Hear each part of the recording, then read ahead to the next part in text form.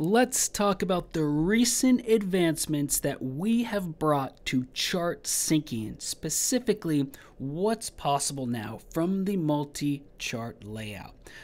Before we get to the chart syncing features that are brand new and are going to help on multi-time frame analysis, multi-asset analysis, and more, let's first remind you that the multi-chart layout is how you can chart multiple symbols at once according to a specific number of symbols that you want to see. So for example, if you want to see two symbols side by side or two charts side by side, go ahead to 2, see this 2, and then pick the layout that fits your needs and click. And now you have two charts side by side. We have one that says NVIDIA and one that says Apple. And even if we hover, our mouse over the center here, the border, we can actually click and drag to customize the exact location of these two charts. So depending on the monitor you have or the type of screen you have, you can create a fully custom workspace.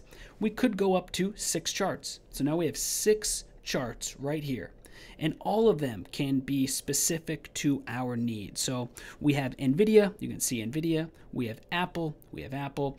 Why don't we add some more symbols? We can add BTC USD here, we can add USD JPY here, we can add Amazon here, and why not lastly, we can add Google here. So now we have six symbols all in front of us, six separate charts. And once again, if we hover our mouse over the borders, we can fully customize the look and feel of these charts to fit our monitor or our exact needs.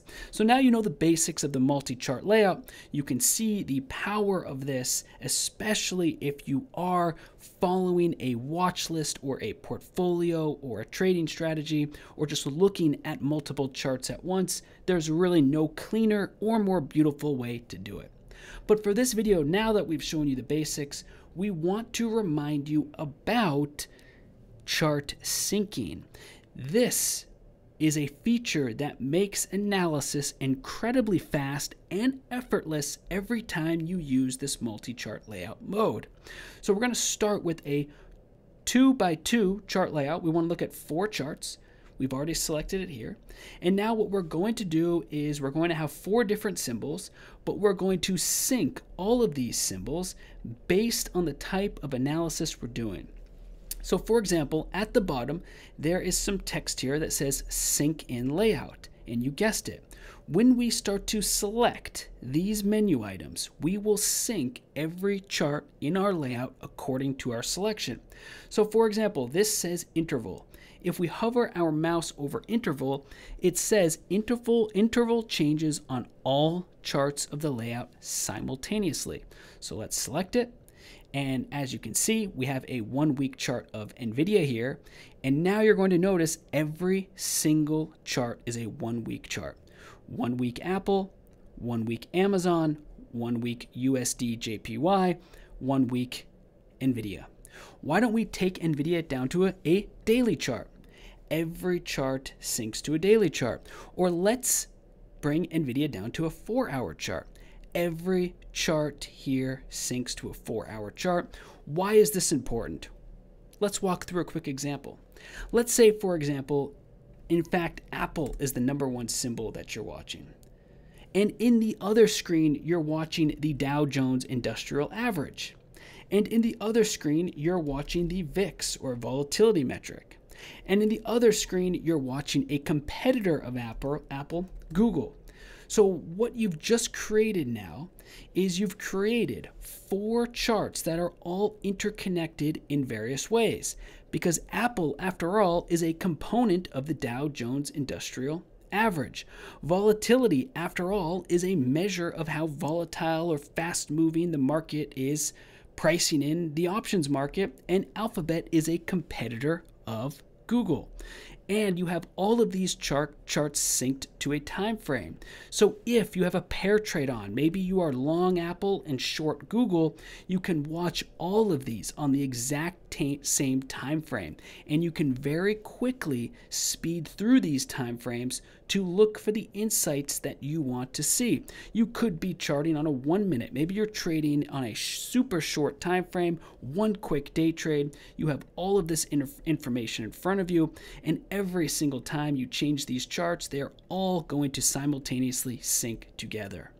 Now, everything we just showed you works for all of these syncing features, including symbol. If you wanted to look at four symbols at once, you could.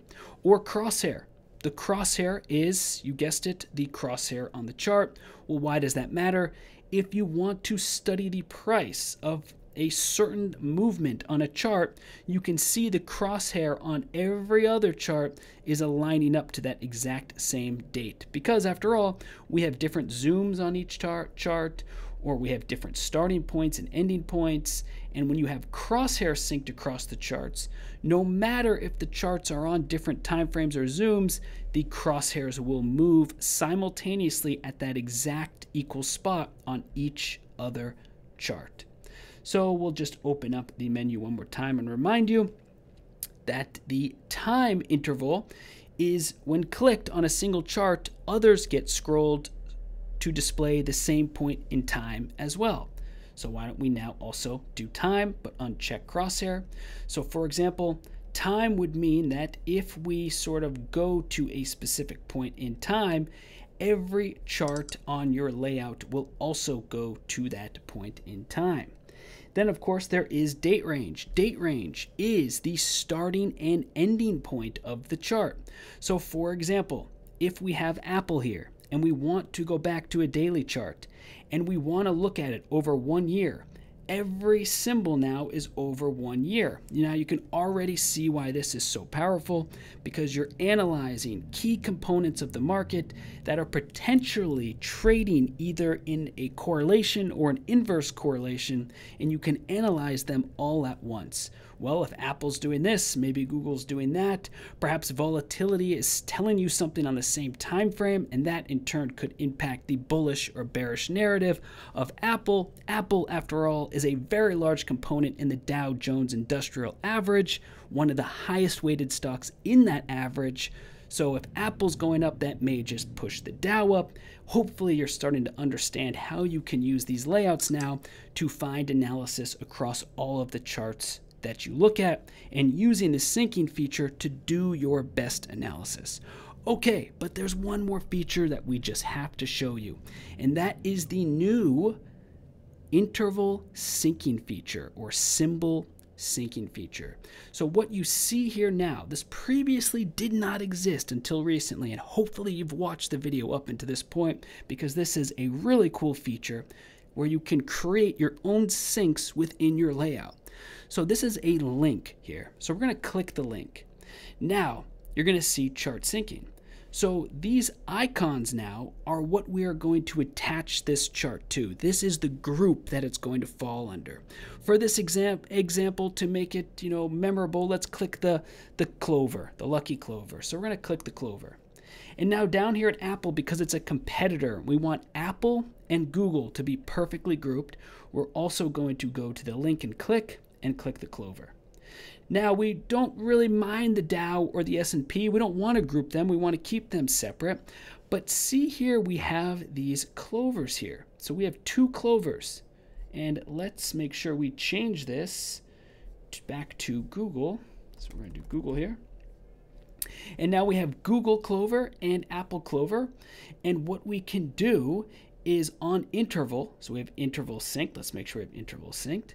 And now let's go to a 15 minute interval. And did you notice what just happened? Only Apple and only Alphabet changed intervals. So before these were linked or synced or grouped by the clover, now only these two are. So rather than all four, we just have two. So we've created this group within our layout. Let's so so watch the Google chart very closely as we change the interval on this Apple chart. Why don't we look at Apple from a monthly time frame? Let's zoom out. Every candle will represent one full month of trading. Watch Google when we do this. And both charts instantly are now monthly charts. Meanwhile, the Dow chart and the VIX chart did not change because they are not part of a group. But check this out. Let's go ahead and make a group. So we can add, we add the uh, S&P 500 ETF SPY, and up here, let's add BTC USD. So we can now group the S&P 500 and the dollar, because now we have two th separate things going on. We're going to look at Apple versus Google, and we're going to look at Bitcoin versus the S&P 500. So let's click the link. And for this example, let's click the heart. So now it's grouped to a heart. For Bitcoin, let's click the link and now let's click the heart and now it's linked to a heart. Let's make sure that this symbol is BTC USD. Okay, so we have Apple, Clover, Google, Clover, Bitcoin, heart, and S&P 500 heart. We have two groups, two entirely separate groups operating within our 2 by 2 layout you can imagine once you start to become a pro trader that you could have, for example, the 3 by 3 multi chart layout showing six charts with multiple groups within that chart. So you are creating a work environment within a work environment. And for this heart, for the heart links, you can see them here, they're totally synced. Let's go to our date range and let's make these charts, these two hearts, fully synced by the date range. So we can go ahead and click one month, and now we've got all of our charts synced to that exact date range. And you can see the difference here where these are these heart charts are actually showing the breakpoints of each session whereas our previous four leaf clover charts are not. That's because they are entirely separate groups. And now we're going to go ahead and unselect this and let's go ahead and click symbol. How about? So now what we've done is we've synced these two charts by symbol. So watch what happens when we change the symbol on this chart, but watch this chart closely. So watch this chart closely when we change the symbol. Why don't we change this symbol to Euro USD? And as you can see, the only charts that are now Euro USD are this chart at the bottom left in this chart at the top right. Notice that Apple stayed the same here. We do have uh, Apple down here too, but let's go back to Google now. And we have these charts also syncing to the symbol of our choice as well. But now let's turn off symbol and let's go to Google and we'll type in Apple. And here is Apple and Google, but we still have Euro USD, Euro USD. The possibilities here are all in your hands on how you want to sync these charts and how you want them to appear. Key point, just remember, is you want to look for the linking feature and click it like this, and then you want to find the icon that you want to sync it to, and you're going to click that icon, and it will be suddenly synced to that icon. In addition, you want to remember that you are syncing it to a specific selection in the multi-chart layout menu, whether it is symbol or interval interval. And once you have that selected, these chart groups will then adjust based on that. So thanks so much for watching. We're excited to see you get started with this new tool. And remember, the multi-chart layout is how you can watch multiple symbols at once across different asset classes, across different symbols, countries, time frames. It's all up to you. In fact, we did not even show you one of our favorite examples, which is multi-time frame analysis. So for those who actually have stuck around, we're going to do a quick bonus, two minutes to show you some multi-time frame analysis. Okay, let's make sure that interval is off, but let's sync our symbols and let's have Apple here. And we're going to look at hour at a one hour, Apple on a one hour chart down here, we're going to look at Apple on a daily chart. And now what we've done, and in the Euro USD, let's go to 15 minutes. And on this chart, let's go to four hours. And now what we've done is we've created a multi-time frame analysis workflow. Well, what does that mean? Well, that means we're zoomed in here to the hourly chart. So perhaps we're trading the hourly chart.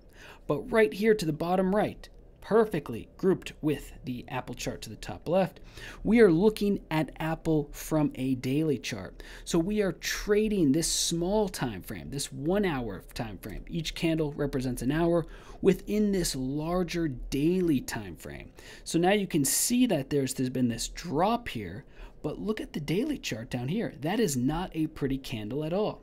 So we are trading this one hour time frame within this daily time frame, and that gives us a huge informational edge because we can see what the larger trend, the daily trend is saying. Look at the candle here, the reversal, the redness versus what's happening on the hourly. If we are trading multiple symbols at once, if we do think there's a correlation, why don't we go back to the Google example? After all, Amazon iOS versus uh, versus Google Play, they're they're competing phones. Android versus iOS, they're competing uh, OSs. We could be watching, for example, Google on a 15 minute time frame to see if it's trading better than Apple at this point, while also keeping the long term in mind. Here's a daily chart of Google. So now we have the Apple one hour time frame. We're zoomed in. Bottom right, we can see the larger time frame. This represents the whole day. Or let's zoom out to a week. So now we can see Apple on a weekly basis. And at the top right, we're also looking at Google, a competitor, to see how it's reacting to this news. Is it trading better than Apple? Is it winning? Is it losing? What's the better platform to be on? We can follow all of these questions in real time just by setting up the perfect workspace for us. So thanks so much for watching. We hope that you get started on the multi-chart layout. Additionally, what's really important make sure that you get used to how to sync the features within your chart. And specifically, what's really exciting is making your own syncing or groups within the layout. So, one more time, we have this orange triangle here, or this orange diamond. We have an orange diamond here. We have a heart here and a heart here. So these two are synced. These two charts are connected, and these two charts are connected. So, pretty cool. Go get started. Let us know what you think in the comments. Thanks for watching.